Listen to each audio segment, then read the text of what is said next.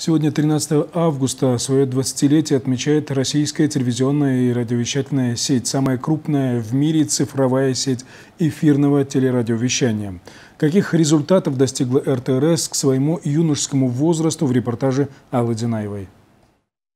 Российская телевизионная и радиовещательная сеть – очень крупная организация. В нее входят 75 филиалов, которые расположены во всех регионах России. Итог работы за 20 лет – это, конечно, создание сети цифрового эфирного телевизионного вещания. Десятые годы началось строительство, была создана федеральная целевая программа, наша разработана правительством Российской Федерации и по указу президента единственным исполнителем этой программы была назначена российская телерадиосеть. В результате этой деятельности и строительства данной сети было построено 5040 объектов по всей территории России, которые вещают и размещают 10 434 телевизионных цифровых передатчиков.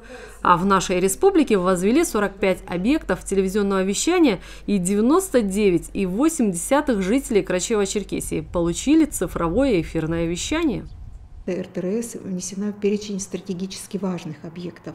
Наши объекты, они э, используются всеми силовыми структурами. У нас размещается оборудование и Министерства обороны, оборудование ФАПСИ, оборудование ФСБ, э, все операторы связи. Участвует оно у нас в аэронавигации.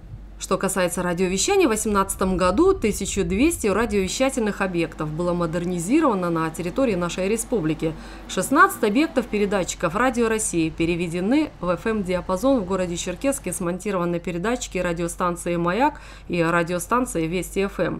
Таким образом завершили программу по модернизации. А это зал мониторинга, где дежурное оперативного управления и дежурные цеха Черкесск контролируют всю сеть по республике теле- и радиовещания. Целый день вы смотрите, можно сказать, вот это на мониторах э, практически все вещание.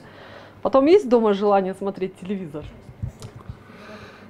Ну как, работаю 27 лет. Вот. Знаете, как ну, домой приходишь как бы на автомате все. Здесь на автомате все смотришь, пропадание где-то, что-то, уже все сконцентрировано, внимание. А кто работал здесь? Папа. Папа, он работал здесь с 81 -го года. На пенсию ушел, почти 80 лет ему было уже. А мы продолжаем. Ну и брат работает еще. А вы сколько лет работаете? 25 с региональными властями заключен договор по тому, э, что мы выдаем сигналы э, экстренного оповещения населения ГОЧС.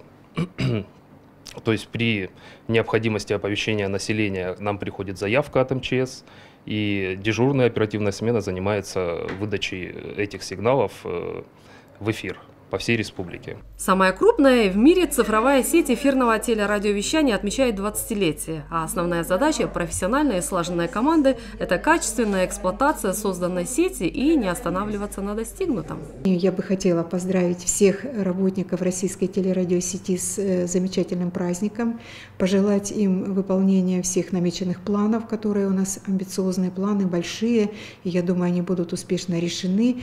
Безусловно, хочется пожелать, чтобы контент, которые распространяют наши технические средства, содержал больше позитива, и телезрителям мы приносили хорошие вести, добавляет директор филиала РТРС Жанна Ткаченко. Алла Динаева, Али Бастанов, Вести, Карачева-Черкесия.